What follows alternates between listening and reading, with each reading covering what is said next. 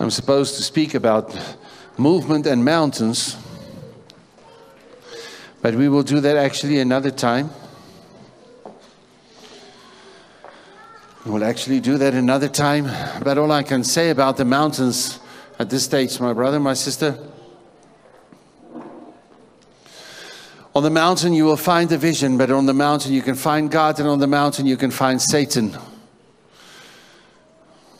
Satan took Jesus on the mountain to see the vision, to see the vision that the Father, that the Father gave Jesus, and that is that the kingdoms of this world will become the kingdoms of our God in Christ Jesus. And the devil said, Here is the vision that the Father gave you.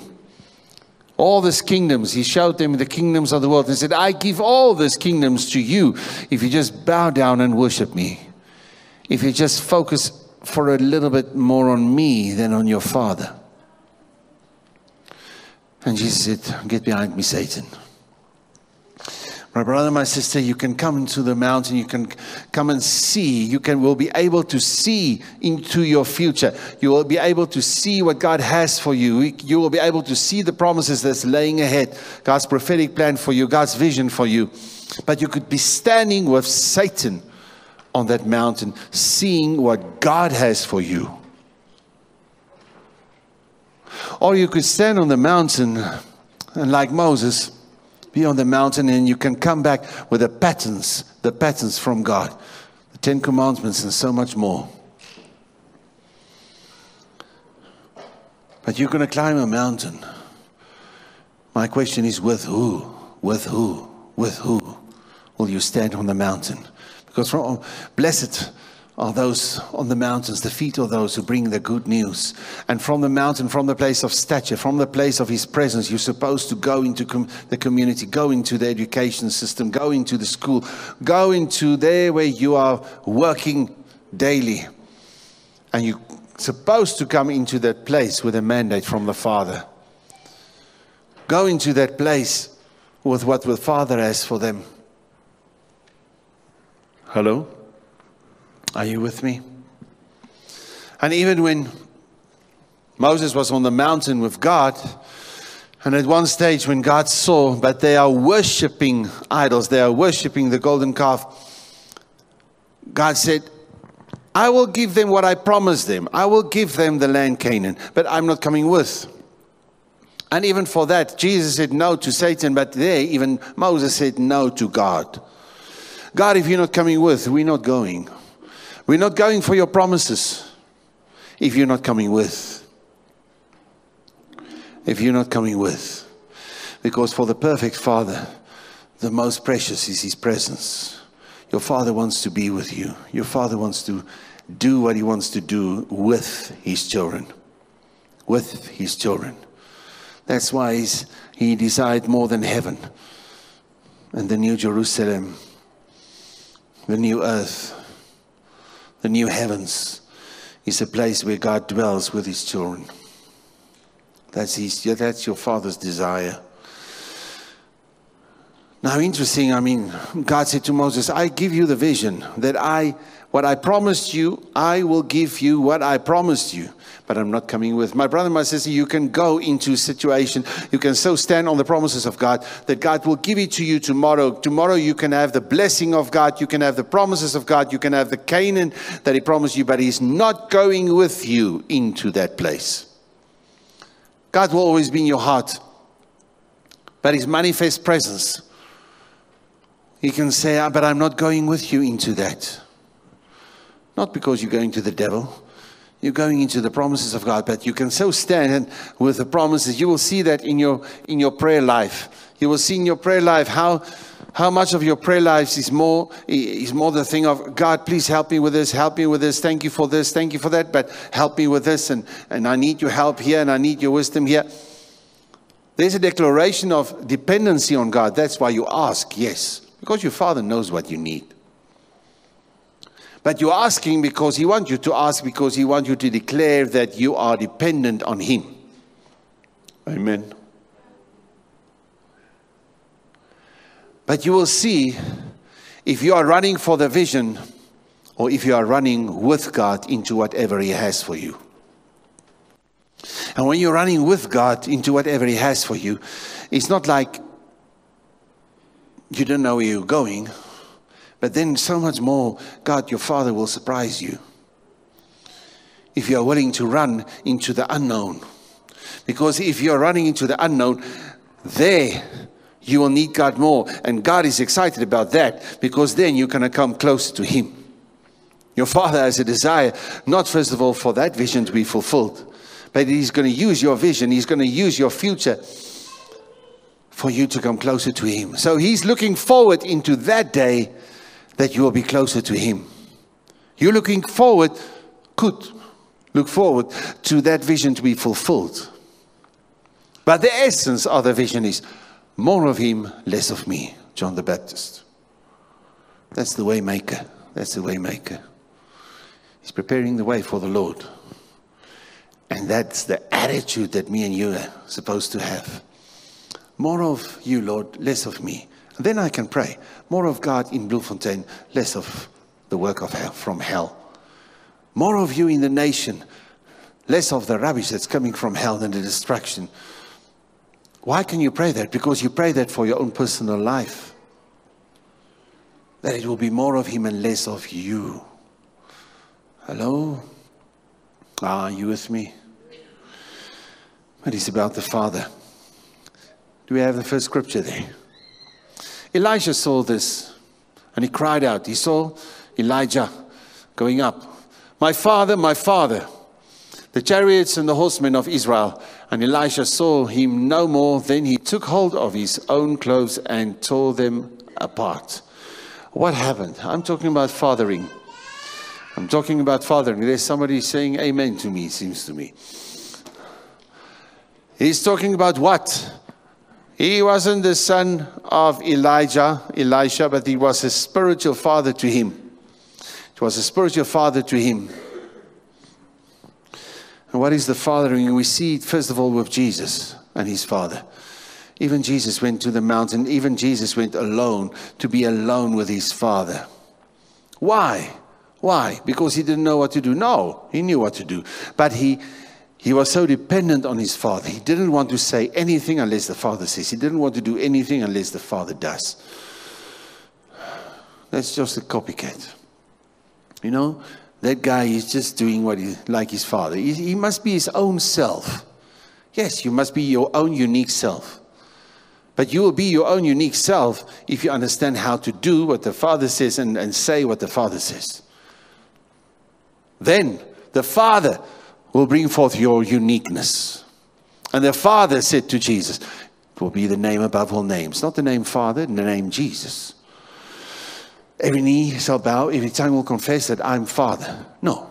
Every knee shall bow, every tongue confess that you are Lord, my Son. And the Father lifts up the Son. The beauty of humility in the Trinity. Remember, we talked about that? The beauty of humility in the Trinity, where the Father says, My Son is the name above all names. You, everything will bow before Him. The Son said, Don't ask me, ask my Father in my name. And lay down His life to declare the Father. Holy Spirit will not speak from himself. He will only speak the words of Christ and only remind you and explain to you the words of Christ. The beauty of humility in the Trinity. I can run from my uniqueness and the uniqueness of my vision and my opinion and how I see things. But the question is is your opinion the opinion from your Father? Is your opinion the opinion of your Father? Father God. Jesus said, I'm saying nothing unless I hear the Father is saying that.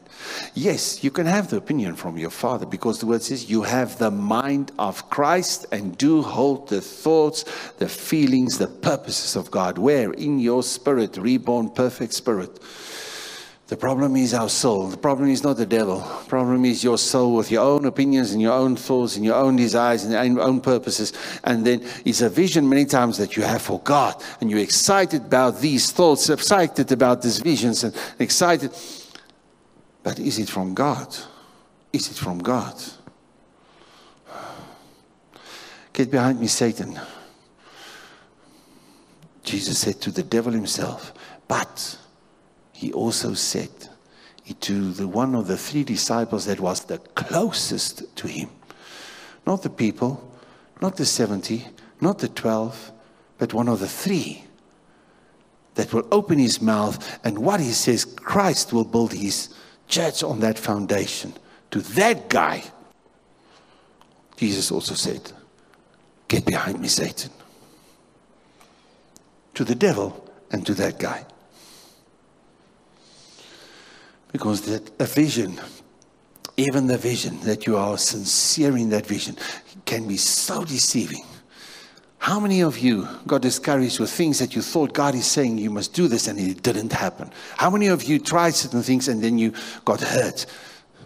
Hello? Got disappointed, got offended because things didn't work out. And suddenly, when you were passionate about certain things, about leading people to Christ, about testifying, suddenly it's not there necessarily so more anymore.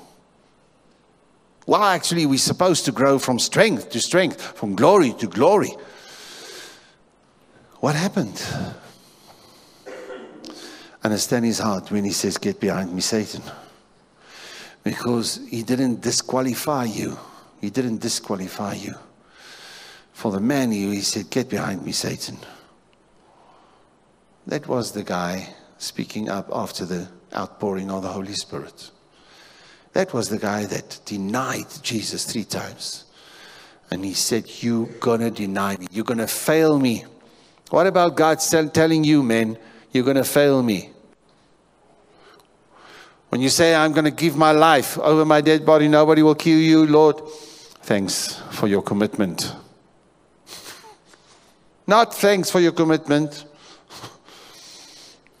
You will fail me. God encourages you to say, You will fail me when you give your commitment. What is He saying? You need to be dependent on me. But you will see, even though you fail me, by fact, by truth, I will come and I will tell you the truth. Do you love me, Peter? Yes, Lord. Do you love me? Then I trust you. Do you love me? Then I trust you. If you love me, tend my lambs. What's my sheep? What's my lambs? Oh man, he's showing the heart of the Father. There's a Father who believes in people. When last did you really go and tell people out there? Why? I'm telling you one thing. You're supposed to bring fathering to the people if you follow Christ. As the Father sent the Son, so the sent is sending, Son is sending you. John 17. Father, just as you have sent me, so I'm sending them into the world. They are not from the world, they are from you. But as you have sent me, so I send them into the world.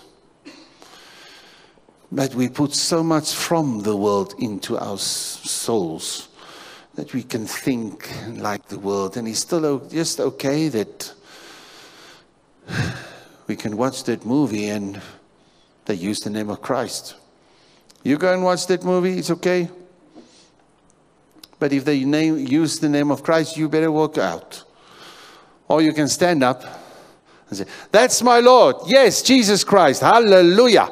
And then sit down. And you wait for the next time. Who will do that? I will give you more than a, more than a pizza. that you stand up. I told you that, that story, and I just make as if you've never heard it before. When I we had to get the, the registrations for to have a permit to build a Christian school on a farm ground, you cannot just do that. Ah, and we struggled for three years.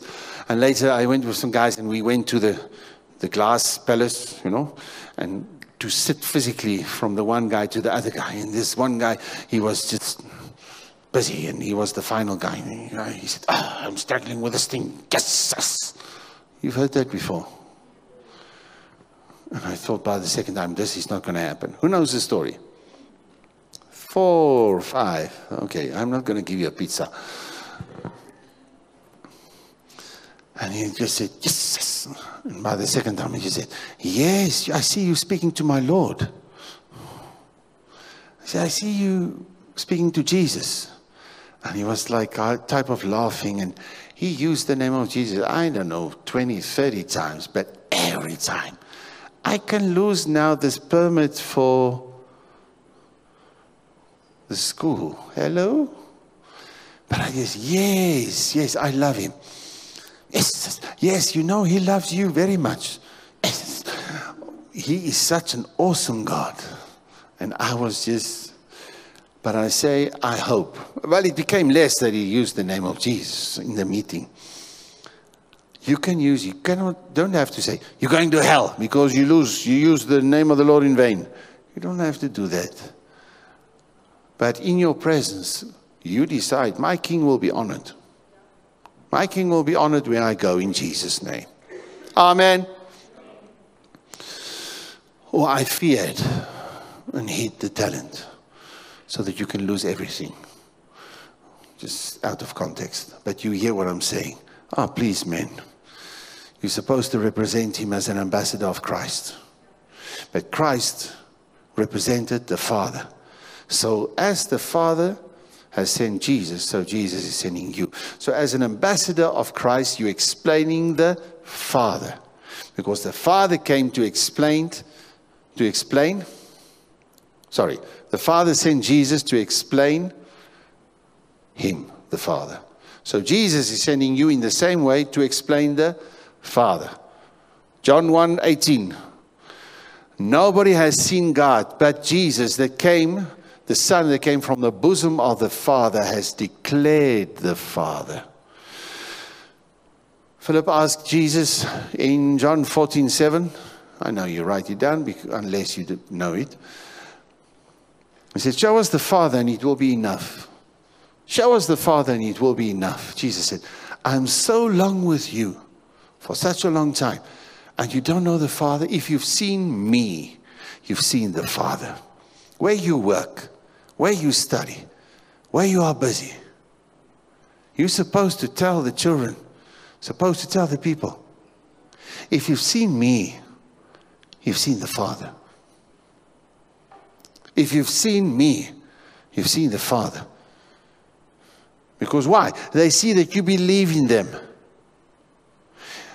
Because the people see that you're excited about them. Why? Because your father is excited about that people. Your father believes in them. Who are you then not to believe in them and just to be frustrated with people? If your dad, your father believes in those people, why are you just frustrated about them? Because your heart is not with your father. That's the first problem. Not they need to change and they do it the right way so that your frustration is gone. Not the devil can bring that temptation. God can bring you some people that will frustrate you. so that when they frustrate you, He can purify your heart. Because He wants you to have His heart for them also. His heart for them also that you can be excited about people that irritate and frustrate you. Let's say, I can be excited about people that frustrate and irritate me. If you have your father's heart. So go and tell the people, man. They've heard the gospel. They've heard maybe God loves you. But so many, so many, so many, so many don't know your father has an appointment with you. Your father believes in you. Your father is excited about your future. Your father is dreaming about you and him in the future. Represent and go and show who's the father. Are you with me? This man, he had a spiritual dad. And he called him, it's not like you must call your spiritual dad father, father, but he was a father to him. So as he's leaving him, what is him? Uh, oh, the man with the double anointing, man of God, my leader, Elijah. That's what I'm going to miss. No, I'm going to miss my father. Elijah is my father. And he's screaming out, Father, Father. May you come to know him as your Father, for that is eternal life. John? 17 verse 3. This is eternal life, that they may know you and the one that you sent. Who's you? The Father and the one that you sent? Jesus. Put eternity in tomorrow. Let, while you are sitting here, and some think I've heard this, or some wada, wada, wada, wada, it's okay. Whatever you're doing, it will be burned away when you go to heaven. Or some of you, you're sitting here and you're busy with the Father. You hear and you apply it and you're speaking to your Father.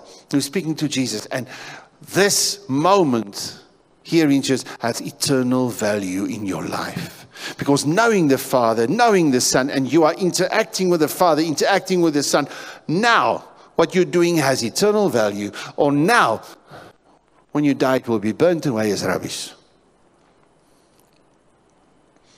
Put eternal value in your day, in this week, in tomorrow, by doing life tomorrow with your Father, doing life tomorrow with Jesus, your King. Oh, Amen. Are you here? Please, man. Please, man. And then you will know also how to be a father. If you come to know Him, spiritual fathering and your earthly father is there to teach you something about God as Father. God decided that you will call your physical dad or spiritual dad, you will, they will be your fathers to serve the purpose of coming to know Him as Father. Now, if God says, honor your father and your mother, and then you'll inherit the promises. How can you honor? Because you don't won't believe it. They make a lot of mistakes. Who has a dad or a mom that didn't make any mistakes? Who of you who are dads and moms? Oh man, you are so aware of your mistakes. So many times. So many times. But still, God said, if you know how to do that, I will let you inherit.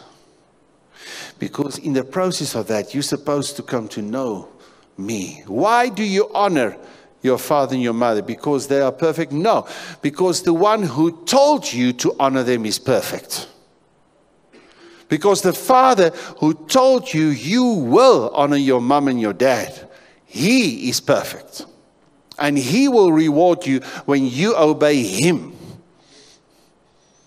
Don't honor your father so that he can change. Don't honor your father because you think he's worthy of honor. You're not the King of Kings. You honor your father and your mother because God, the perfect Father, said, You will do that. And then he will fulfill his promise. He will take you to the land Canaan. Therefore, Moses, go to Pharaoh and say, let, my, let God's people go because God wants to fulfill his promise for generation after generation that he wants to give his children that promise, Canaan. No, he didn't say that. You can remind God of his promises. This, that's one scripture, but read it in context. God promised for generations, I will give you Canaan. I will give you Canaan. But when he go to the ones that enslave you, when God is speaking to the slavery of fear, the slavery of lust, the slavery of rubbish in your life, the slavery of, of uh, uh, whatever who you want to call it, the spirit of, what is twist? Spirit of arguing, contention, all those ones, spirit of rejection, spirit of whatever. When God would speak to those demonic rubbish that, that is enslaving you, He will not deal with it by reminding them of His promises of Canaan. But Moses had to go and say to Father, Pharaoh, let, God says, let my people go to go and worship me. Where? In the desert. God bless you in, in many ways, even in Egypt. But when you must come out of slavery, God's Many times we want to get out of slavery, out of this, this circumstances that's enslaving us, and we are in circumstances. We pray to get out of Egypt into Canaan. God help us. You promised Canaan. You God gave you promises to get out of Egypt into Canaan because that's what God said. But that's not how God deals with Pharaoh. He says, Let them go to worship me in the desert. And then Pharaoh is dealing with them. Okay, I will let the men go to go to Canaan. No, I will let the men go to go and worship, but you don't take the wives and the kids. They said, No, then we're not going. Everyone must go. Everyone must go to worship God in the desert.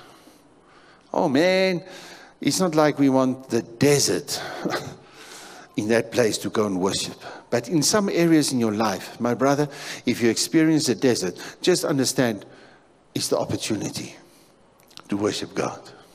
It's the opportunity where you can see the miracles of God, the provision from heaven, the water from the rock. Hello? The fire of God to bring warmth, the cloud against the sun. Hello? into that place, but focus on Him, focus on His presence.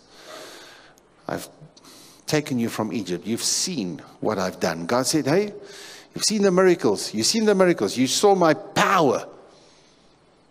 And how you bore you, I bore you on eagle's wings to myself. I didn't bring you to Canaan, I brought you to myself because I have a desire. And that is your father. Your he, father wants his children to be with him. And there's the biggest promise I will never leave you, I will never forsake you because I'm a perfect father. You go and present and represent the perfect father. Next one. So, Elijah, Elisha. Once, while some Israelites were burying, oh, that was, that's the wrong script. He's one before that. Hallelujah. But leave it there. Suddenly they saw a band of uh, raiders. What, how do you say that? Yeah. So they threw the man's body into Elisha's tomb. When the body touched Elisha's bones, the man came to life and stood up on his feet. I just want to say, I think that those guys got the fright of their lives. they want to bury this guy, and he's, he's dead. And he touched the bones of Elijah that was dead, Elisha. And when he touched the bones of Elisha, then that guy came alive. Yo, that's anointing. Okay, but that was not the scripture supposed to be. The scripture is just before that. Bottom line, it has to do with the king that wanted to, uh, the king wanted to uh, attack the enemy. But then he, first of all, came to the prophet and he said, My father. The king called the prophet my father. Must we attack? Must we attack? Hey, why must the king ask that prophet? Hello? The king can do what he wants, man. Now let's stand on the vision. He has the enemy in their hands because what, it, what happened? There were a lot of guys, a lot of enemy. And the prophet said, God opened their eyes. Oh, and opened the eyes of Gehazi and the, and the servants, and they saw, whoa, those who are with us are more than those who are against us, all the angels. But then afterwards, when these enemy came, the prophet said, just slander, slander, just put blindness over the enemy. And then the prophet led them all into the city, into Samaria. And then the prophet said to God, God, open their eyes. And all the enemy's eyes were opened. And then they saw, oh, we are now here. We are caught by Israel. And Israel had the enemy in their hands. But you know, I, they can stand on the promises of God. God is giving your enemy into your hands. You can slaughter them. Look what God has done. No, no. The king understood fathering. Like Jesus first went to the Father, Father, what are you saying? So the king came to Elisha as a father, said, Must we? And Elisha said, No, you cannot kill them, even though the enemy is in your hands. You give him a feast, feed them, feed your enemy, give him a feast, and send them away. What a ridiculous strategy. And the king did what the prophet said. Man, oh man, doesn't matter your authority. Walk in dependency towards the Father. Do we have the right one here now? Shall I kill them, my father? Shall I kill them? Do not kill them. Send them away. Okay. Prepared a great feast. You understand? He thinks I must be quick with the sermon, it seems to me. All right. Are you with me? No, I'm saying, you be a father to the nation. Be a father. And you know, if things are going wrong with, in government, it's because the church, listen, the church is not fathering the government. The church is not a father to the king of the nation. That's the problem. The church does not need to be the king. Hello? Joseph does not need to be in the place of Pharaoh. The same with Elisha. Does not be, need to be the king and get that king out, but he needs to be a father to the king. So, in government, even with the elections coming up, may the church rise up to be a father to government, a father to the legislative, a father to the provincial government, a father to people that standing in different wards and whatever you call it, in different communities. May the church rise up and start to pray for the guys in authority. Start to pray and give prophetic words, men. I say we must trust God in the near future that we're going to give some of these main peanuts in the pocky. You know, we're going to give them prophetic words. Let it be so.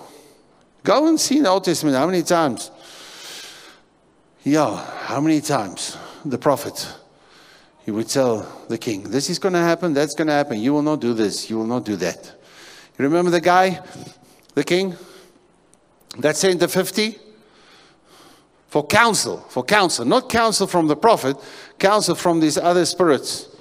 God said to Elijah, He's sending that 50 there. Elijah comes and said, Where do you think you're going? Fire from heaven, 50 gone. Go back home. The king, as the main guy, sent another 50 God to Elijah. He's sending some extra, uh, some 50 again. Coming. Where do you think you're going? Fire from heaven, 50 gone. Going home. The king is sending again another 50. Yo, how arrogant can you be? Elijah come again. The guy says, "Whoa, Elijah, just uh, give me, give me a break. Um, it's not us, it's the king." Yeah, yeah, okay, I, I agree with you. Say, so it's the king. He, it's the king. He wants to go to that to find the counsel from that demonic source. Okay, so Elijah went with went to the king because you think you thought of going there because you thought of going there, you will die. And the guy died. The king died. Amen. Many times, leadership and political leadership can be rotten to the core. And they would seek counsel. They want counsel. And they will ask their ancestors. They will have you, when you see these guys and they do some of rotten rubbish. You've seen that before? You've heard about that? Because they want counsel. What's the problem? Why is that rubbish? What is that rubbish doing there? Why are they seeking that all those counsel? Because the church is not fathering the king. The church is not fathering the people in authority. It starts tomorrow with you that you will allow the Father to counsel you, that you will allow Him to be your Father. And God will use earthly fathers and spiritual fathers with a lot of mistakes in your life so that He can see will you honor them because me, your perfect Father, said so? Because your perfect Father said so. Are you with me? Get in the right place, my brother, my sister, so that you can father some businesses, so that you can father some schools, so that you can father some education systems out there, so that you can father, oh man, your community. So that you can get some street kids and frequently give them a, a word. Give them a word. And with word, give him, I don't know, not, not 10 rand because he can go for the tuck and I don't know what else. Give him a bread or give him something to eat. Give him an apple. And later they're going to know, oh, when that car comes, hey, I'm going to get an apple. And when you open the door, they're going to tell you later what you are telling them. Yes, my father believes in me, yes. And you think, ah, fake. But those words, Holy Spirit will use the word. Holy Spirit will remind them of the words of Christ. And if you've given them the word of Christ, then Holy Spirit can work in them in their night time, when they go to sleep, when they wake up. Because you've given that seed where Holy Spirit will take the seed and let it come forth. Amen. Go and father your community. Are you still here? Okay. Do we have a next verse that could be right? Hopefully. What is the next one that we have? 2 Kings 13, verse 14. Now Elisha was suffering from the illness which, from which he died. Jehoash, king of Israel, went down to see him and wept over him. My father, my father. Once again, this king, he cried, the chariots of horsemen and of Israel. Oh, that was what Elisha said Eli to Elijah. Here's the king, and on the deathbed, this man is so desperate. This king is so desperate. And saying, This man of God, I need his counsel. I need him. I need him in my life. So, the guys out there, if it's your death, there's people in the world, there's people with authority that's supposed to be there. Osh, but I need that man's counsel still in my life. That's how you're supposed to, make a difference. That you will be a father to kings, a father to people in authority. Don't be intimidated by what people know. Unless you decide that your God is less than that guy that knows a lot. But if you believe your God has the final say, He's the King of Kings, Lord of Lords, and everything will bow before Him, and you know Him and you know the Father, then you address the king. Then you address the king. My spiritual father's best friend at conferences, Dr. Tunde Bakare, in uh, every year that we go to Malaysia. This Dr. Tunde Bakare from Nigeria. My spiritual father is an Indian. His wife is Chinese, and his best friend is uh, Nigerian. So, yeah, wonderful. And bottom line, a lot of at the conferences he would take some sessions. And so one time he uh, god told him that sheikh from that from one of those feared guys you know those those sheikhs you know not a milkshake but a guy with a lot of authority that can just kill whoever he decides. Uh, his, his time is gone. His time is over. Go and tell him so he went there and all the security, and he said, No, I have a message from the king to the boss. And they let him through. but he has a message from King Jesus. So they allowed him to come in. He said, You make your life right with Christ, you and your family, and there's a future. You don't do that, you will die. And he walked out. They, they left him and did nothing to him, and he just walked out. One week later, the whole family died in a, in a crash. But God gave the opportunity. God, before people are people are dying out there, and if they didn't receive an opportunity, use me, use me, use me to even to speak to that sheikh, to even to you speak to that whoever that guy is. Be a father to the people. Tell your neighbor, be a father to the people. Are you still here with me? Okay, the last one, for the sake of time. Genesis. So then, It was not you. This is Joseph. You sent me here that you sold me as a slave, man, my, your brothers. But it was God. He made me father to Pharaoh, Lord of his entire house household and ruler of all Egypt. Now hurry back to my father and say to him, This is what your son Joseph says God has made me Lord of all Egypt. Come down to me, don't delay.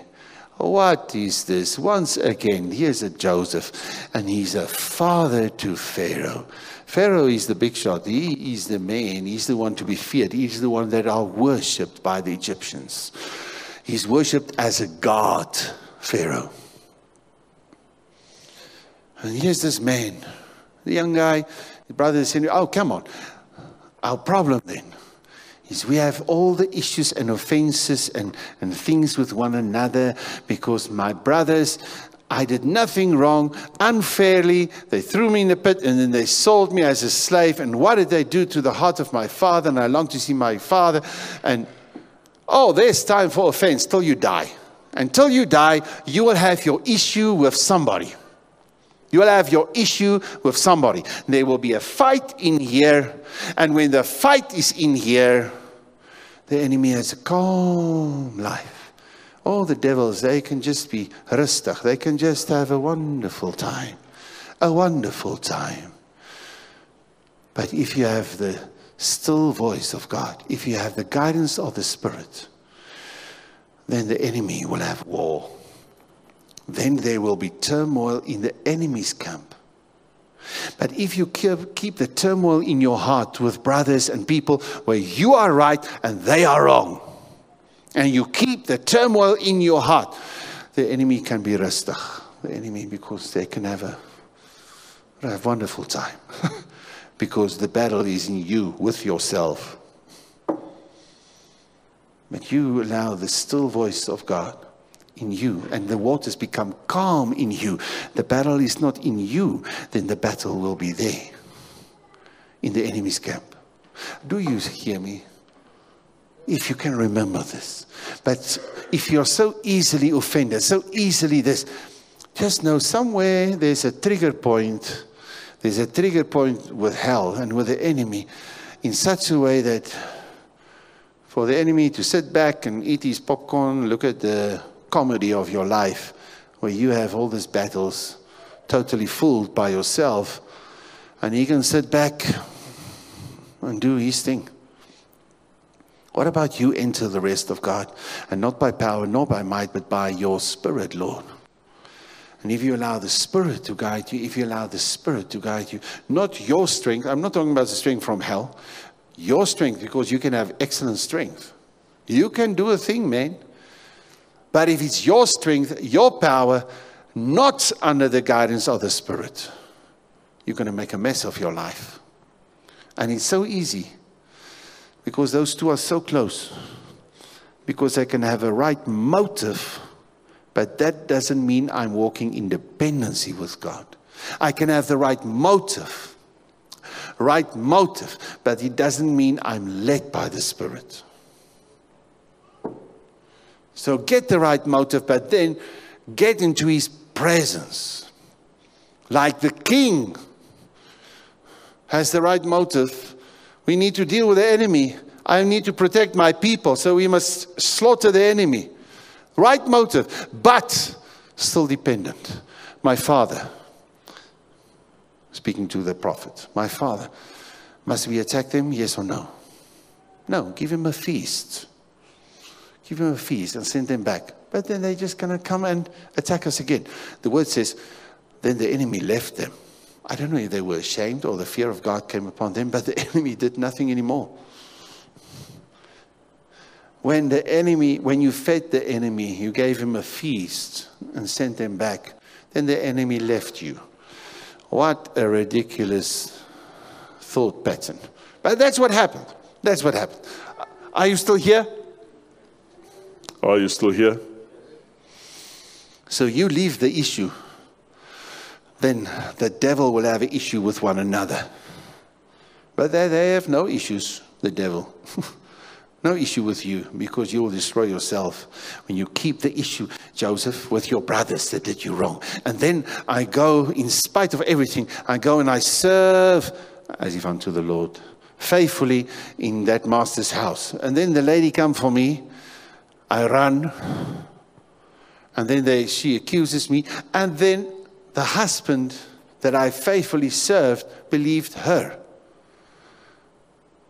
Oh, it's time to be offended when you really give your life. And there's not a thank you, but they don't trust you. Wrongly accused and wrongly accused. And then what happened?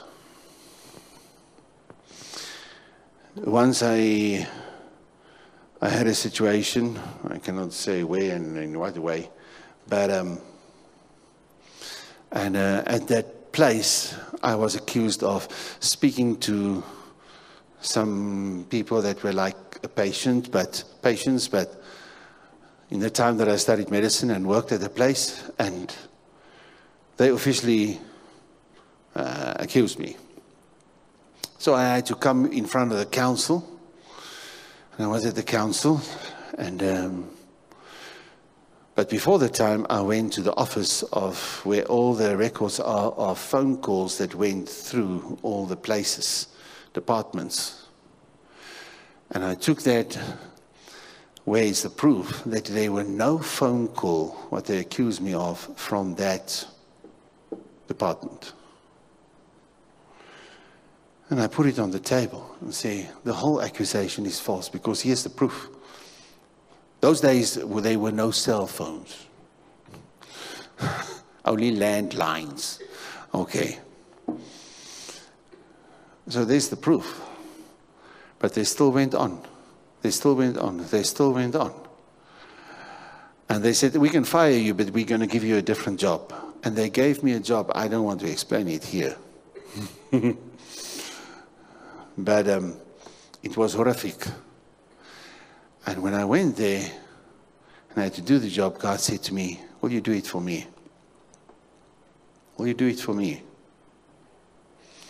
All I can say it was it involved cleaning up old womies, 40 of them, me alone in the evening. Wonderful. That was the reward.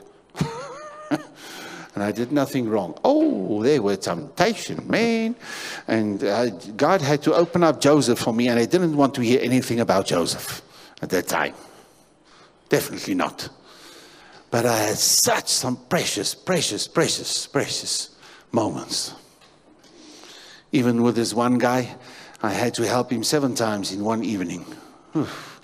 The seventh time I put him in the wheelchair, but I decided after I gave my life to Christ, in the beginning I could use a lot of words that's not good words, swear words. And so I realized, no, no, no, no. And then I started to speak with respect and what God would say to the, the people. And I put him in his wheelchair chair and he said, Donkey Cornelis. Like Cornelis Cornelis. The files, the, the, the what's a lair? A lair says the, that guy cannot speak at all. And I wrote in the file, only the love of God will help them to open up and not be ashamed with what is happening to themselves. Hello? So that was the reward after standing with certain things with God. But God was testing. God was testing. Oh man, so sometimes in all of that, my brother, my sister, Joseph in jail, and then Joseph in jail, wrongly accused, and then the two guys, he interpreted the dream, the dreams, and he said to the guy that's going to the king's palace, Remember me, at least just remember me and ask the king about me. Because I mean, I gave you interpretation accurately that actually part of saving your life. And then that guy forgot about him for two years. Come on. How are you going to feel? But then after the two years, when the king had a dream, oh, yeah, yeah, yeah, there's a guy, he can interpret dreams from God. He's in jail. Yeah, he comes in. Oh, thanks. You forgot about me for two years, you know? You remember me now. No, that wasn't the heart of Joseph because he kept his heart pure. And from the prison to the palace, let's say from prison to palace, nothing changed in the heart of Joseph. His heart was equally set on God in the jail than in the palace, with each one total different temptations. But there he didn't seek the, the, the, the position of the king, but he had a heart to be like a father to the king. And he became a father to the king. Show your father's heart to whoever.